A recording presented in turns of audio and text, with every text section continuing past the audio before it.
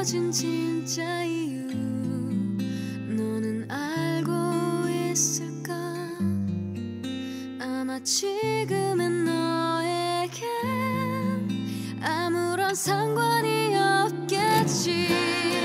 이해할수록 멀어지던 너 좀처럼 화내질 않았던 나 노력할수록 지루